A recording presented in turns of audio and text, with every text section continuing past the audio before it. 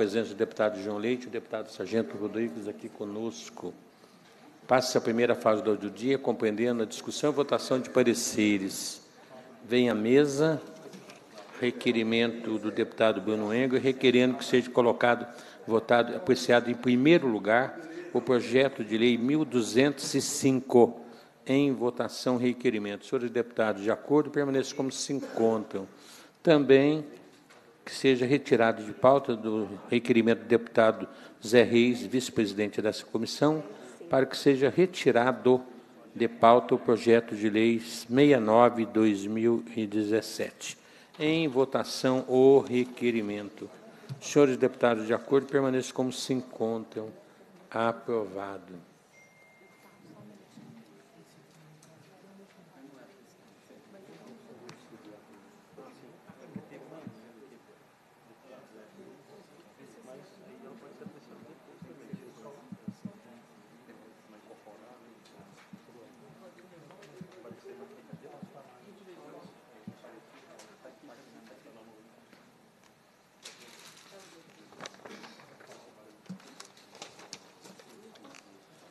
Abrindo nossa pauta, temos o projeto, parecer para o primeiro turno do projeto de lei 1205, de autoria do governador do Estado de Minas Gerais.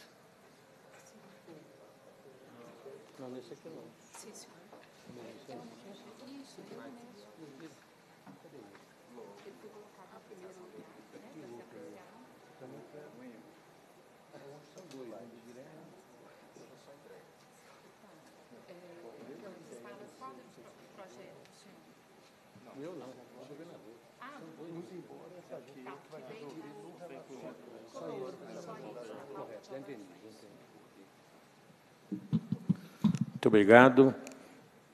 De autoria do governador do Estado, projeto de lei 1205. Eu sou relator da matéria e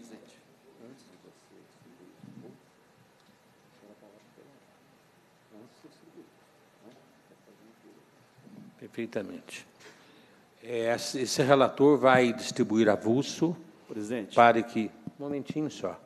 Para que os ilustres pares tomem conhecimento desta matéria e do qual já está convocada para amanhã a reunião para apreciar essa matéria. Vamos distribuir avulso e com a palavra o deputado Sargento Rodrigues pela ordem. Presidente, quero é, primeiro cumprimentar Vossa Excelência e os colegas deputados. É, eu queria fazer um apelo a Vossa Excelência e o conjunto dos membros dessa comissão, obviamente, se, se todos estiverem de acordo, que para isso nós precisamos consultar aqui os colegas deputados e deputadas. Presidente, esse projeto, para quem não, não sabe ainda, ele é o projeto do deputado Ulisses Gomes, deputado é, Zé Reis, é o projeto que os servidores aguardam ansiosamente. E eu não estou falando aqui em nome dos servidores da segurança pública. São servidores civis e militares de todo o conjunto do Estado de Minas Gerais. Olha, são mais de quatro anos sem a reposição da perda inflacionária. Mas, enquanto isso, os servidores do Poder Legislativo, do Judiciário, do Ministério Público, do Tribunal de Contas e da Defensoria Pública, todos estão recebendo os seus salários no quinto dia útil e o décimo terceiro de forma integral. Há três anos e nove meses de parcelamento, deputado Zé Reis. Então é algo assim que chega a ser uma covardia com os servidores do Estado de Minas Gerais. Bom, e estão desesperados, deputado Dalmo, presidente. Porque Vossa Excelência imagina, Vossa Excelência é chefe de família, eu sou chefe de família, ainda não é um encargo tão pesado para o nosso jovem deputado Bruno Engler, mas com certeza é um deputado que já adquiriu maturidade e sabe a complexidade disso, porque tem na sua mãe servidora pública uh, o espelho e com certeza sabe sabe de todo o trabalho dela, também como uma pessoa que ajuda no orçamento do lar. Eu queria fazer um apelo, deputado Dalmo, e aí, obviamente, o apelo passa pelo conjunto dos deputados e deputadas, porque esse projeto, deputado Ulisses Gomes, é o projeto que vai permitir a antecipação de receita, e eu tive o cuidado, o zelo, de fazer a leitura da fundamentação do projeto nesse final de semana, todo ele, li com muita atenção, ele não só permitirá colocar em dia o pagamento no quinto dia útil de todos os servidores públicos civis e militares a partir do mês de dezembro, como também permitirá colocar o décimo terceiro em dia. Eu não sei se os senhores, se todos aqui nesta mesa, já tiveram a situação de ser arrimo de família, como eu fui desde os 15 anos de idade. Nós sabemos, deputado João Leite, o que representa ser arrimo de família ou chefe de família com salário parcelado. Olha, no governo anterior, nós tivemos um problema ainda mais grave, que até mesmo os consignados, o empréstimo consignado na instituição financeira, o governo anterior deixou de pagar os bancos e a último suspiro que o servidor tinha, deputado Dalmo, era de ir nesses bancos. Então foi cortado. Então hoje o desespero de lá para cá só veio aumentando. Eu queria trazer aqui que até o número de suicídio do conjunto dos servidores aí da segurança pública aumentou exponencialmente. E um dos fatores, porque é óbvio, você não pode tratar é uma questão tão delicada de forma simplista, mas um dos fatores, deputado João Leite, é também a questão financeira. Porque o policial, o agente penitenciário, são os únicos servidores que carregam a arma 24 horas por dia na cintura. E às vezes o desespero com o salário, o deputado Dalma atrasado, levou o cheque especial, o cartão de crédito, ao empréstimo consignado. Virou uma bola de neve, e essa bola de neve reflete onde? Todos nós que temos família, que constituímos família, isso chega dentro de casa, chega na harmonia do nosso lar, com a esposa, com os filhos, e o desespero vai bater na porta. Então, esse projeto, eu entendo, inclusive, que o governo, para ter uma tratativa mais tranquila com a Assembleia, não colocou o regime de urgência. Mas esse projeto era um projeto para tramitar em cara de urgência, porque ele tem uma destinação específica, ele vem para dar um suspiro de alívio aos servidores públicos, civis e militares. Então, estou fazendo, estou é, é, trazendo todas essas informações, presidente, colegas, deputado, deputado, deputado Ulisses Gomes, deputado Zé Reis, deputado Bruno Engler, deputado Guilherme, para que a gente possa pedir ao presidente que, ao invés de distribuir avulso, mas com a concordância dos pares, para que o projeto possa ser votado o mais rápido possível e aprovado, obviamente. Votado e aprovado, porque esse projeto ainda precisa passar na Comissão de Administração Pública, na Comissão de Fiscalização Financeira Orçamentária, primeiro turno, depois comissão em segundo turno, depois de plenário em segundo turno. Olha, nós já estamos aproximando a, o fim de outubro, hoje são 22 de outubro. Portanto, eu faço um apelo, presidente, e que eu gostaria muito, tenho certeza que o deputado João Leite também corrobora com, as nossas, com os nossos encaminhamentos.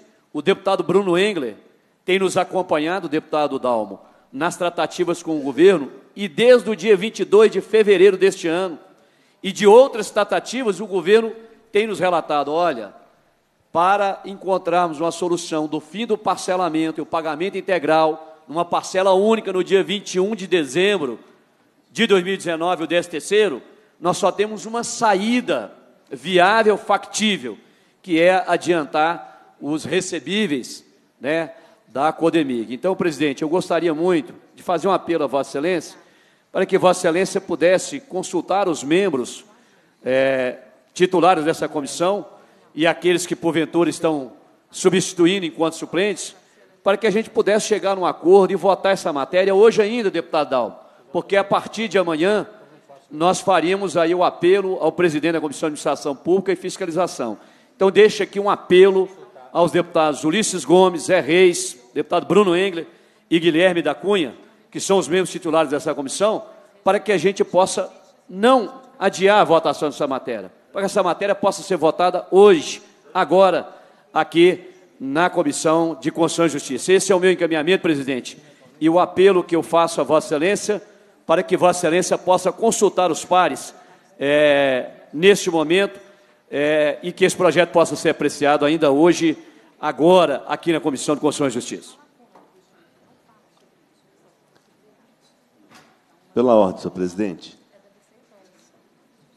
Pela ordem. Pela ordem, deputado João Leite. Eu queria acompanhar a solicitação do deputado Sargento Rodrigues. Eu, infelizmente, tive que me ausentar hoje. Eu estive no Tribunal de Contas da União, acompanhando o relatório da antecipação da concessão ferroviária da Vale. Trago notícias boas, porque nesse relatório nós teremos mais um par de de viagem de trem de passageiros de Belo Horizonte a Vitória e teremos mais um par de trem de passageiro durante as férias, janeiro, fevereiro, carnaval. Então, nós teremos ao todo, nesse período, três pares de, de trens de passageiros em direção à Vitória e voltando também. Então, são três indo e três voltando. E um sonho da deputada Celise, nós vamos ter um trem noturno mas o processo ainda está muito lento, porque a NTT não responde a diversos questionamentos feitos pelo Tribunal de Contas da União e sequer chegou o relatório ainda nas mãos do relator, que é o ministro Bruno Dantas. Então não pude. Mas na volta, deputado Dalmo, fui visitar minha mãe. Minha mãe é viúva de policial. E a coisa não é brincadeira, não já com 87 anos, tem que tomar vários medicamentos. O deputado Sargento Rodrigues está trazendo um. Ele trouxe aí um pouco da, da aflição de quem está nativa. Policiais estão nas ruas, quem está nos hospitais públicos atendendo, mas eu trago também os aposentados. Minha mãe é aposentada, tem que tomar um caminhão de remédios, com já há não sei quantos anos, com o salário o salário e nós vamos ainda distribuir avulso e amanhã nós vamos votar. Eu não, eu não vejo ambiente para isso no Estado de Minas Gerais, gente. A situação do servidor público, a situação. Eu estou voltando da casa da minha mãe. Eu desci do aeroporto, fui ver minha mãe, ela doente. E com salário parcelado, não sabe quando vai receber. Eu estou falando de alguém que ainda tem é, nós temos como socorrer. E o servidor aposentado, a servidora aposentada, dependendo de medicamentos. Não dá para a gente ficar esperando, ah, vamos distribuir a avulso, amanhã nós vamos votar, vamos ver quando que a administração pública vai votar. Não dá. Eu queria fazer um apelo, e Vossa Excelência, um advogado, um homem do direito, né? O senhor receba aí essa minha requisição, né? essa petição. Estou atravessando uma petição não é como Abraão fez com o Supremo Juiz. Se tiver 50 justos lá, Vossa Excelência, Sua Excelência, aí não, por amor dos 50 justos, eu libero. Então, por amor ao servidor do Estado de Minas Gerais, a servidora, ao aposentado, né, eu creio que o senhor terá apoio total aqui para votarmos imediatamente essa matéria. O servidor não pode esperar essa noite, querido Dalmo. Muito obrigado deputado João Leite, deputado Sargento Rodrigues. Eu gostaria de comunicar a todos que, quando nós abrimos a pauta, esse relator manifestou a distribuição de avulso para que todos os parlamentares pudessem tomar conhecimento do parecer. Eu entendo perfeitamente as razões justificadas pelo deputado Sargento Rodrigues, pelo deputado João Leite, tendo em vista a necessidade de nós aprovarmos ainda hoje esse parecer, aprovarmos ou rejeitarmos. Eu entendo regimentalmente, tendo em vista a minha fala pela distribuição de avulso, ser primeira da manifestação do deputado Sargento Rodrigues, mas para que possa caminhar exatamente o momento da colocação de Vossa Excelência, o deputado Sargento Rodrigues, eu gostaria de consultar os parlamentares se estão aptos para votar ou estão cientes com a distribuição do avulso que está marcada para amanhã, às 13h30 horas, a sua apreciação. Eu faço de uma forma muito democrática, porque sabemos que poderá também ter regimentalmente pedido de vista, então eu gostaria de ouvir, independente, é uma decisão minha, mas como eu já antecipei regimentalmente, eu não posso voltar atrás, em decorrência de ter já distribuído avulso, mas eu consulto os pares quanto a essa posição da distribuição de avulso. Mantém? 13h30. Avulso. O deputado Ulisses aí manifesta para conhecer a matéria amanhã. Então, deputado Sargento Rodrigues, deputado João Leite, fica, presidente, fica, fica mantido. É, pela ordem, presidente? Pela, pela ordem, deputado. Na verdade, só corrigindo, não é a minha manifestação, é concordando com a decisão de Vossa Excelência, né, que iniciou muito bem a, a discussão é, nessa distribuição de avulso, estou respeitando o encaminhamento de Vossa Excelência. O que eu acho que é importante registrar aqui é a minha total concordância com a justificativa dos parlamentares que me antecederam. É, a preocupação da regularização legítima do salário dos servidores é uma defesa que unifica não só o Parlamento Mineiro, como todo o governo, óbvio, e a classe política do Estado, e, e sobretudo, dos servidores que merecem ter isso o quanto antes regularizado. Agora, nós temos que fazer um debate também muito coerente.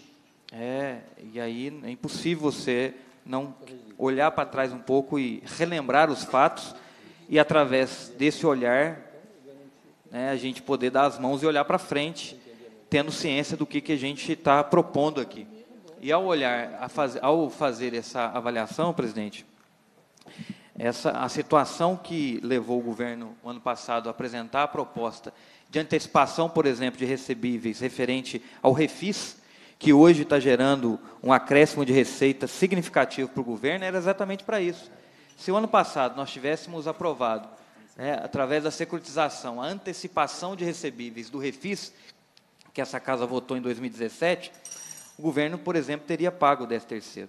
Se nós tivéssemos votado o que está aprovado hoje, né, depois regularizado, a venda de 49% das ações da Codemig no ano passado, nós teríamos regularizado o salário e, não, e talvez não precisássemos hoje discutir aqui a venda de 100% da Codemig.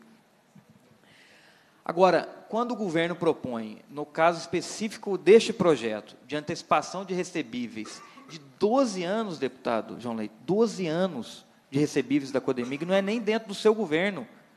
O governo está querendo antecipar até 2032 aquilo que vai receber da Codemig, sem responder para a gente, ou porque eu tenho questionado isso, o deputado Guilherme está aqui, com, não me deixa negar, nós estamos participando da Comissão de Minas e Energia, um debate desde o primeiro semestre, questionando um problema que nós temos detectado na Codemig com relação à sua extração de nióbio, a concentração de nióbio que nós temos na CBMN, que contradiz o contrato da CBMN com a CBMN, ou seja, o contrato prevê uma extração paritária e dentro dessa extração, além de, além de ter sido comprovado que ela foi extraído a mais do que deveria na mina do Estado, ela tem uma concentração maior de nióbio que está sendo questionada pelo Ministério Público, pelo Ministério Público e Tribunal de Contas, que encaminhou ao governo do Estado, há duas semanas atrás, um questionamento, dando 48, a, a semana retrasada, 48 horas para o governo responder. Esse prazo venceu ontem, até a informação que a gente buscou ter no governo não foi respondida ainda. Hoje eu estive com o secretário de governo, Bilac Pinto, o questionei sobre isso. Governo, ele não tinha essa informação, o seu governo havia respondido esses questionamentos. Então nós temos uma preocupação muito grande com relação a responder esse. E eu quero ler aqui essa representação do Ministério Público, presidente, se me permitir mais dois minutos, porque são questionamentos que requer da nossa participação desta casa uma responsabilidade muito grande, porque refere-se a um valor que pode mudar o valor e mais do que isso, comprovado tudo isso que nós estamos levantando, pode resolver. Nós estamos falando na ordem de quase 5 bilhões de reais que a CBMN deveria ao Estado, que pode resolver o problema hoje de salário, desse terceiro, é, do passado. E ao regularizar isso, quer dizer que o governo tem a receber mais a cada ano. O conselheiro, nosso amigo conhecido desta casa, José Alves Viana, doutor Viana, encaminha ao governo do Estado né, a seguinte representação. À secretária do Pleno: junte-se aos autos documento protocolado número 62921, considera, considerando a petição do Ministério Público junto ao Tribunal de Contas, por meio da qual requer a determinação de diligências a fim de proceder ao controle externo concomitante aos procedimentos que o Estado de Minas Gerais já está adotando para antecipação de recursos, exatamente sobre o que a gente está discutindo aqui, dos procedimentos que o Estado já está adotando para antecipação. Então, não é um, uma questão de oposição ou de lado ou de discordância, pelo contrário, a solução nós estamos buscando junto, mas o próprio tribunal questiona, então, o, a, que o governo já está adotando sobre a antecipação de recursos de nióbio, a venda da também sobre a venda da Codemig, consoante recente e amplamente divulgado pela mídia, notícias do dia 9 de setembro de 2009, ele acrescenta no, no documento né, essa matéria do jornal O Tempo e do Hoje em Dia, e por fontes oficiais do governo, determina então que sejam intimadas com urgência, por meio de oficial instrutivo, o governador do estado de Minas Gerais, senhor Romeu Zema, o secretário de Planejamento e Gestão, senhor Otto Levi, e o presidente da Codemig, Dante de Matos, a fim de que no prazo improrrogável de 48 horas, como eu disse, venceu ontem, encaminhe a este Tribunal de Contas toda a documentação relativa ao, ao pretendido processo de securitização, antecipação de recebível de nióbios, que é a pauta que, que nos traz aqui hoje, e ou emissão de debêntures, mostrando-se minimamente necessário que se apresente documentos elencados em anexo e também que se esclareçam os demais questionamentos com as respectivas fundamentações e justificativas, igualmente lastreadas em documentação e em estudos. Advirtam-se os intimados de que o não atendimento das diligências no prazo fixado poderá ensejar a aplicação de multa individual diária no valor de 5 mil reais, conforme previ, previsão contida no artigo 85, inciso 3 e 4 da Lei Complementar 102, 2008. Na oportunidade, distribuam-se cópias aos presentes e despacho, tal, tal, tal. Por fim, senhor presidente, leio aqui os oito itens questionados pelo Tribunal de Contas referente à pauta que aqui discutimos. Um, fluxo de Deputado caixa... Liz, eu vou pedir, venha a Vossa Excelência, Sim. Nós estamos aí somente discutindo quanto à posição de Vossa Excelência nesse momento. Nós não abrimos em discussão ainda o parecer. Sim. Inicialmente, a minha decisão está mantida para distribuição de abuso. Então, está marcado para amanhã, às 13h30 horas, o conhecimento nesse sentido. Senhor presidente. Ou, então, nesse caso, sentido, senhor presidente, eu só gostaria de.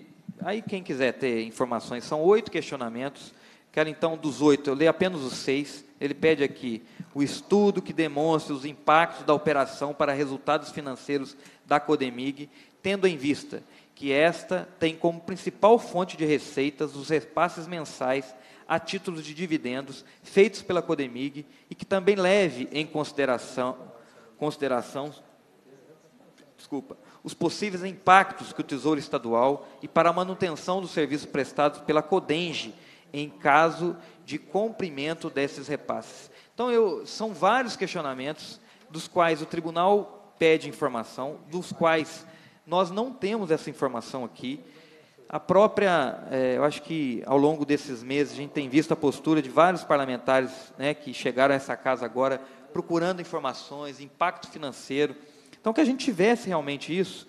E por fim, senhor presidente, para encerrar mesmo, eu queria dizer o seguinte: nós temos que tomar muito cuidado essa, esse discurso de que a responsabilidade da Assembleia e de que a votação dessa antecipação resolverá a situação de salário, me perdoe, não procede, para não dizer outra palavra, não procede. É impossível, é impossível que se a gente votasse hoje e publicasse hoje servidores do Estado, é impossível, e aí eu dou meu voto aqui hoje, faria tudo possível mas fosse publicado hoje, que em menos, que em menos de 90 dias, que em menos de 90 dias, esse dinheiro tivesse no caixa do Estado. se o Estado, o governador, na verdade, deveria apresentar, porque esse projeto não tem a ver com o regime de recuperação, que o governo está tá discutindo isso desde o início do ano. Essa proposta de antecipação de recebíveis, se esta fosse a solução para pagamento, ele já poderia ter apresentado há muito tempo, para que fosse solução de fato. Porque aí nós estamos é, meio que tapando sol com a peneira. Porque tem que haver, depois de publicado, aprovado e publicado, chamamento público, né, de concorrência por menor deságio. Tem, esse, esse, tem que publicar, leva tempo. Ou, ou as coisas já estão tá tudo combinado, já tem quem vai comprar isso e vai repassar o dinheiro. O prazo de contratação. Né? Então, as coisas não vão acontecer de hoje até o dia do 13 terceiro. Então, o governo, na verdade, tem que apresentar uma proposta. Qual vai ser, de fato, a proposta para o servidor, para não achar que este projeto, que nós vamos aprovar nessa casa, né? A oposição vai apoiar. Nós, nós votamos lá, nós apresentamos proposta lá atrás, governo passado de antecipação de recebíveis. É incoerente a gente não apoiar um processo desse. Se a solução, se isso vai lá na frente, de alguma forma, resolver o problema do servidor. Agora, não vai poder o governador chegar em dezembro, quando for pagar o 13 terceiro, falar que a Assembleia atrasou um dia, atrasou um mês, atrasou seja quanto tempo for, sendo que quem atrasou o encaminhamento para essa casa ou deputados que lá atrás foram, foram contrários ao mesmo procedimento e agora estão sendo favoráveis, fazendo um discurso encerrar, de que vai ser a solução, de que isso vai se resolver em menos de 90 dias. Não tem jeito, a não ser, não quero colocar dúvida aqui, que está tudo combinado. Perfeito. Hoje já tem um banco que vai, alguém que vai comprar isso e vai antecipar isso para o governo. Porque cumpridas as regras, isso não se resolve em menos de 90 dias. Então, quero, Muito nesse sentido, manifestar apoio à decisão de Vossa Excelência, presidente. Muito obrigado, Vossa Excelência. Com a palavra o deputado Guilherme da Cunha. Senhor presidente, sem antecipar uma discussão que é própria do dia de amanhã e na qual poderemos demonstrar todas as diferenças que existem entre o que foi proposto no passado e o que está sendo agora proposto, eu gostaria de parabenizar a sua decisão sobre a distribuição do avulso. E faço isso na certeza de que as razões que lhe motivaram foram as mesmas aqui apresentadas pelos colegas Sargento Rodrigues e João Leite, de uma preocupação profunda com o servidor público, com o pagamento dos salários em dia, com o pagamento do 13º ainda esse ano. Vossa Excelência, sabedor da situação é, da própria comissão que preside e tendo ciência da urgência do momento, fez a correta opção pela distribuição do avulso, que dará tempo a todos os membros da comissão de estudarem o parecer de poderem esclarecer quaisquer dúvidas que possuam, de maneira que a gente não seja surpreendido ou que a gente não seja interrompido na nossa deliberação por um pedido de vista que poderia, aí sim, atrasar muito mais a tramitação da matéria. E, de toda forma, não faria diferença em relação à tramitação nas outras comissões votarmos agora ou votarmos amanhã, uma e meia da tarde. Porque, checando aqui o, a agenda da Assembleia para a data de amanhã, percebo que não há reunião das comissões subsequentes para as quais o projeto será enviado na parte da manhã. A nossa reunião, às 13h30, ela, de certa maneira, inaugurará as reuniões do dia de amanhã em relação a esse projeto. E haverá todo o espaço para que ele siga, então, para as comissões seguintes, possa nelas tramitar sem que represente nenhuma forma de atraso a gente apenas fazer a discussão e deliberação às 13h30 amanhã. Foi um acerto a decisão e eu tenho certeza que foi movida pela sua intensa preocupação e seu intenso respeito com o servidor público mineiro e sabedor de que é o melhor caminho para que a gente possa, na maior agilidade e com a urgência que o momento exige, fazer todo o possível e dar a resposta necessária para colocar salário em dia e realizar o pagamento do 13º. Presidente, parabéns e parabenizo também deputado Sargento Rodrigues, deputado João Leite, que aqui compareceram para externar toda a importância desse projeto, opinião da qual compartilho inteiramente. Presidente, pela ordem, muito pela... breve, presidente. Muito deputado, breve. Sargento, deputado Zé Reis pediu anteriormente a Vossa Excelência. Um minuto. Passo imediatamente a Vossa Excelência. Senhor presidente e aos demais colegas, é só mesmo parabenizar o senhor pela sabedoria e, da mesma forma, o relator, e, e da mesma forma, na ideia do Sargento Rodrigues, mais do que eu, que fui prefeito, sei que o maior patrimônio de qualquer órgão público é seus servidores. E quem de nós não quer pagar os servidores públicos? Quem de nós não quer pagar seus funcionários da sua empresa? Entretanto, entretanto, nós estamos aqui em nome do povo do Estado de Minas Gerais, representando o Estado de Minas Gerais, o seu órgão público, e por isso nós somos obrigados, não é porque queremos seguir os ditames legais. O senhor governador nos enviou a mensagem falando do pagamento integral e 13º de 2019, né, que é algo dos nossos sonhos. Né? Mas, não sei se o, se o senhor debruçou sobre os seus artigos, os seus três, quatro artigos, ele diz que essa antecipação dos créditos será para pagar o regime próprio de previdência. Ou seja, nós precisamos justamente desse mais tempo para poder encaixar essa antecipação de crédito ao, de fato, chegar à conta do servidor. Porque senão podemos correr um risco de antecipar o crédito, cair na conta única do Estado, esse dinheiro ir para outra conta, e no final do ano nós votarmos, votamos algo que não aconteceu com a realidade do servidor. A preocupação é, colocada por Vossa Excelência é de extrema importância. Eu também estou extremamente preocupado, até mesmo porque uma das fontes de renda do sertão, do norte de Minas, é o servidor público.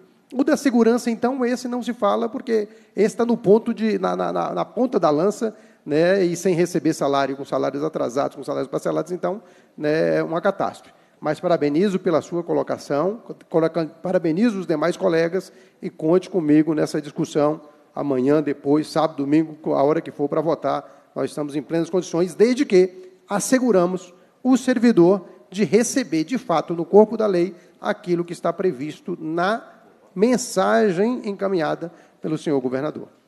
Muito bem. Com a palavra, o deputado Sargento Rodrigues. Presidente, eu serei muito breve, até porque nós não vamos antecipar a discussão do parecer de Vossa Excelência, que o parecer de Vossa Excelência não é a primeira vez que Vossa Excelência preside essa comissão.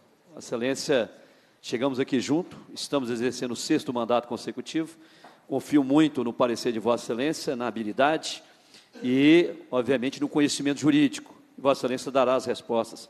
Eu só queria dizer aqui aos colegas deputados que no mandato passado, o encaminhamento do projeto a esta casa, em momento algum tocou no assunto que era para pagamento de servidores é, no quinto dia útil e décimo terceiro. Caso os colegas deputados queiram, eu trago amanhã a justificativa do projeto e apresento aos pares. Neste, muito diferente, e eu disse aqui logo na hora que abri os trabalhos aqui da comissão, eu fiz questão de ler o projeto na íntegra e sua justificativa. A justificativa está muito clara, deputado João Leite. Pagamento o quinto dia útil, décimo terceiro integral e também repasse para os municípios. Então, está muito claro. O atual governador teve a coragem de escrever. E se ele teve a coragem de escrever, fica muito mais fácil para a gente lidar com a matéria. Agora, eu tenho certeza, eu tenho certeza que todos os deputados e deputadas desta casa devem querer votar essa matéria urgentemente, porque é o servidor que está na ponta. Eu vi aqui questionamentos do Tribunal de Contas, legítimo, mas eu sei quanto é que ganha os conselheiros do Tribunal de Contas, seus penduricários. Eu sei quanto vi questionamentos aqui no Ministério Público, campeões de penduricários. Não há problema com o pagamento integral dos servidores do, do Tribunal de Contas, nem do Ministério Público, nem da Assembleia, nem do Poder Judiciário. Quem está sofrendo do outro lado é que não pode esperar mais, não pode aguentar mais, porque o sofrimento é muito grande. Parabéns ao governador que teve a coragem de escrever na sua justificativa que era para pagamento de 10 terceiro em parcela única e também acertar a folha de pagamento, ou seja, o quinto dia útil. E é isso que nós precisamos, porque, como disse aqui o colega deputado Zé Reis, quem está na ponta da linha executando política pública são os servidores.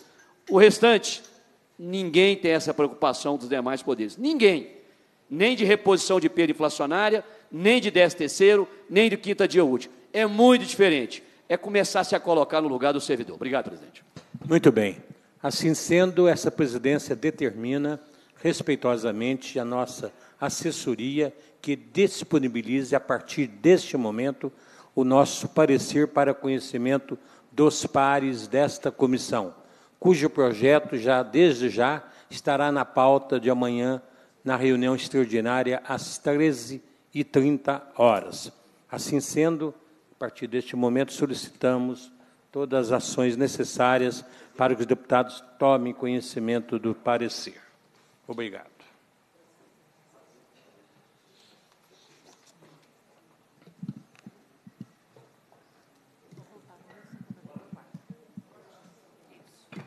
Projeto de Lei 1194, da deputada delegada Sheila, que autoriza o Poder Executivo a doar ao município de Obanque da Câmara o imóvel que especifica.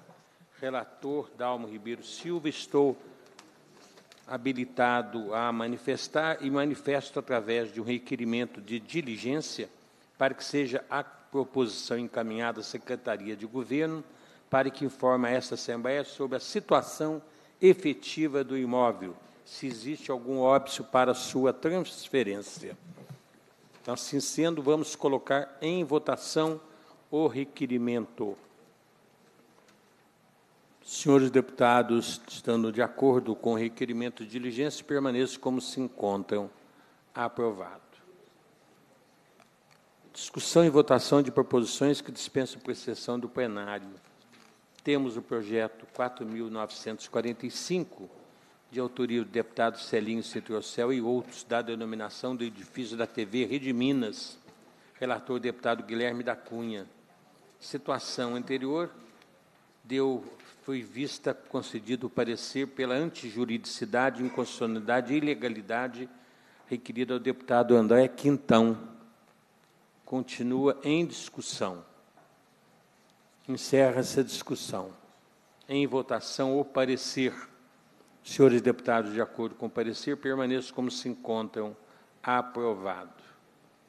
Projeto 4.184, do deputado Alencar da Silveira Júnior, declara de utilidade pública a Associação Céu da Mantiqueira, no município de Senador Amaral. Sou o relator da matéria.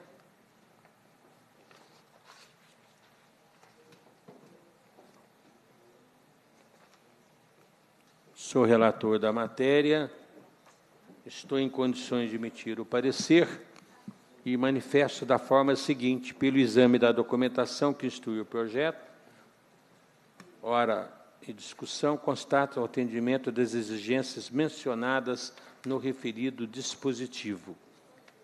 Nesse aspecto, a situação está de acordo com a própria lei estabelecida pela lei federal, determinando assim a sua, concluindo pela sua juridicidade, constitucionalidade e legalidade do projeto.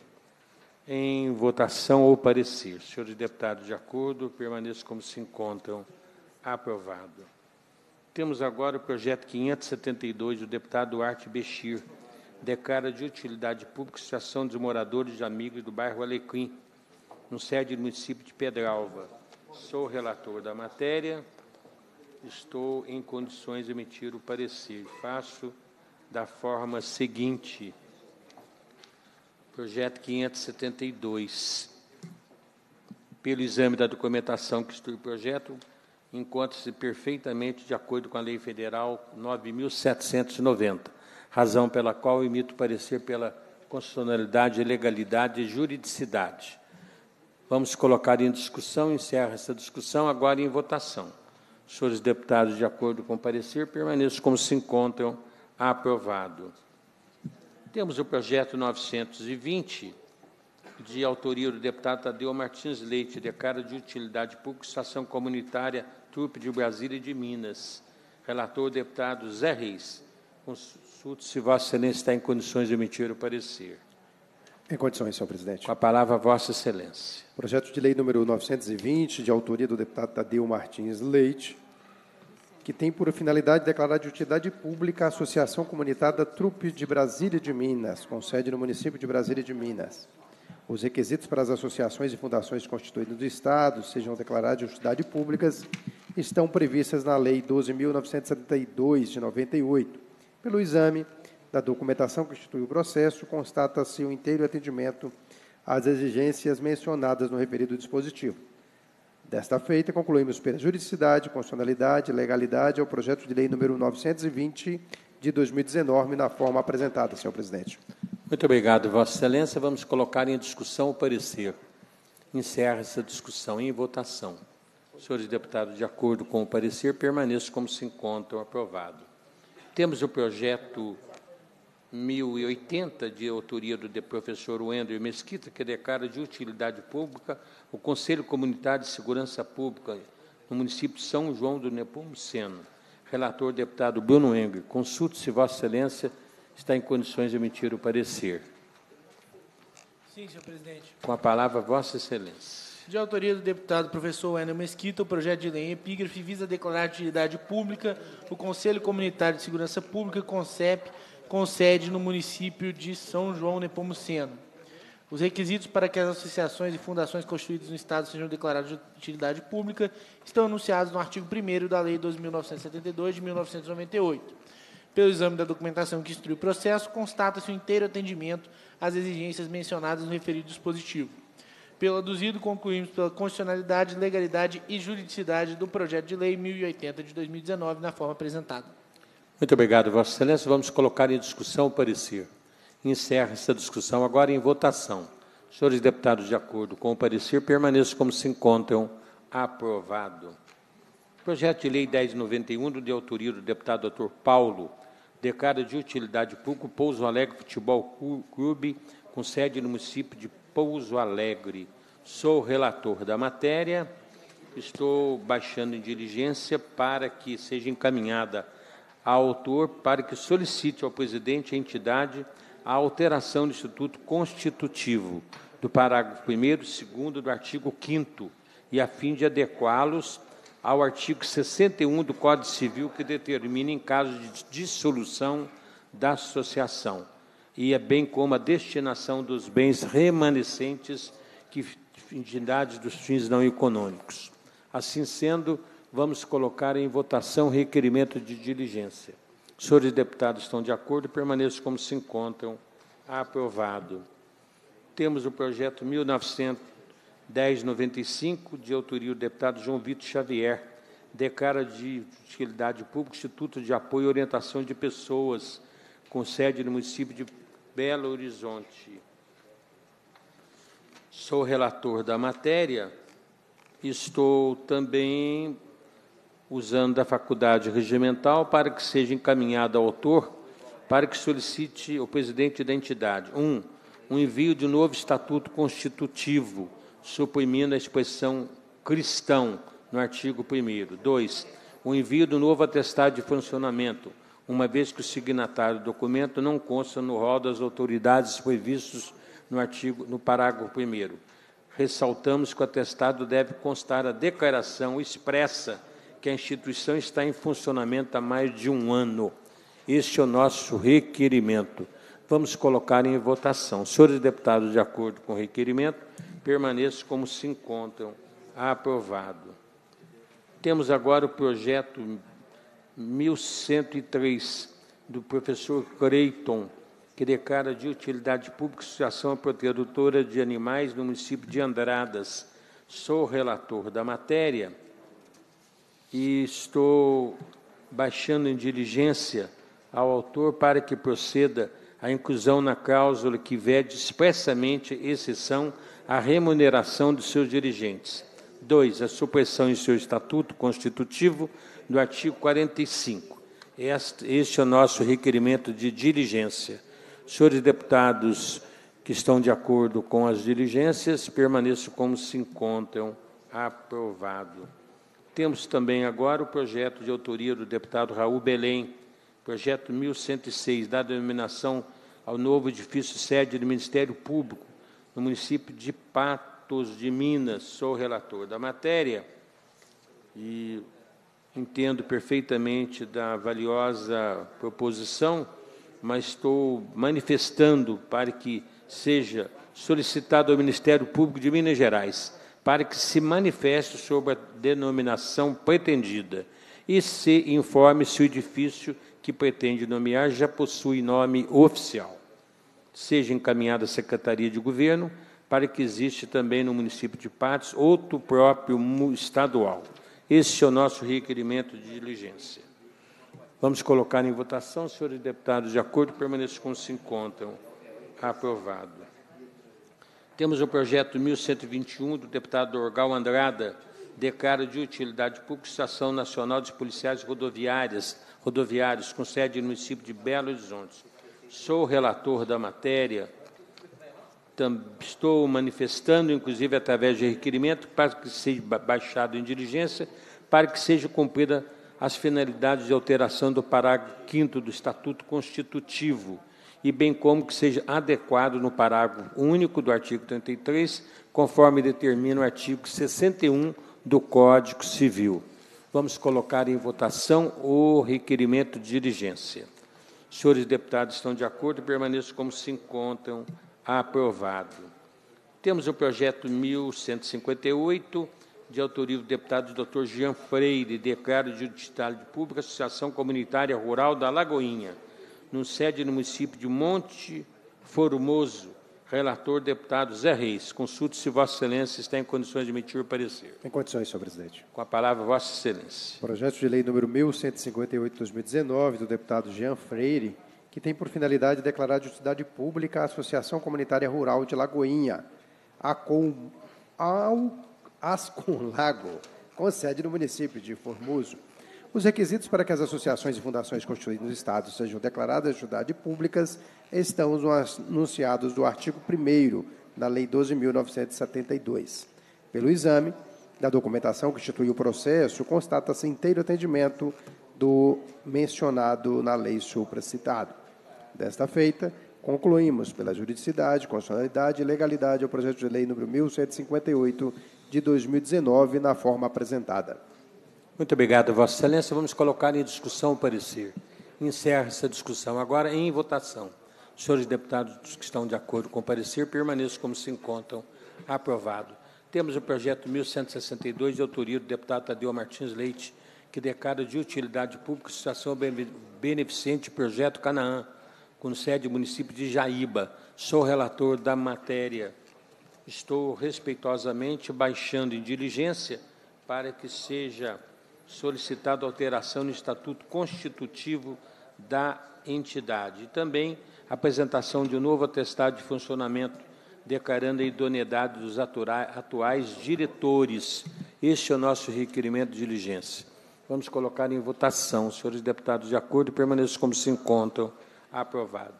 Encerrando a nossa pauta, temos o projeto 1169, do deputado Gustavo Valadares declara de utilidade pública a Associação Recreativa Cuidando da Comunidade, com sede no município de Sabará. Sou relator da matéria, estou baixando em diligência para que o ilustre deputado, autor, proceda à comprovação da personalidade jurídica conforme o atendimento disposto da Lei 12.972, que também que proceda à alteração do artigo 52, 53 do Estatuto Constitutivo, esclarecemos que a personalidade jurídica das associações pode ser comprovada por meio de carimbo ou registro do seu estatuto. Este é o nosso requerimento de diligência. Vamos colocar em votação. Senhores deputados, de acordo com a diligência, permaneçam como se encontram. Aprovado. Consulto se existe uma, alguma manifestação dos ilustres deputados para este momento. Não havendo,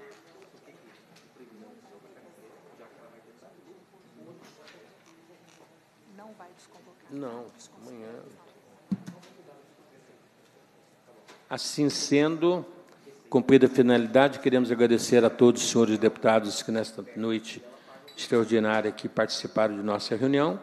Convocamos para a reunião extraordinária de amanhã, marcada já para as 13h30 horas, para apreciação de matérias constantes da pauta, como também o projeto que hoje apresentamos avulso. Este é a nossa manifestação. Então fica convocada amanhã extraordinária às 13h30 horas. Queremos agradecer a presença de todos. Assim sendo, determinamos a lavratura dos trabalhos.